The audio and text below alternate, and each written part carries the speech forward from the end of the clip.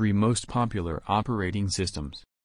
Windows, Mac OS, and Linux. User base Microsoft dominates the market of entry-level computers among the world's leading retailers, and their machines come preloaded with Windows operating system.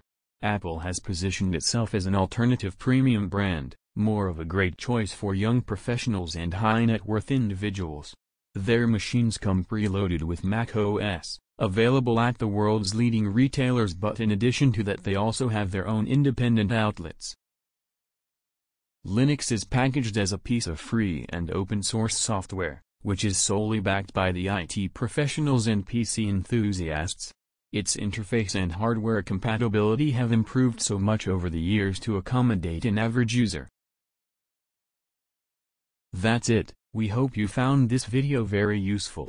Remember to subscribe and hit the notification bell icon.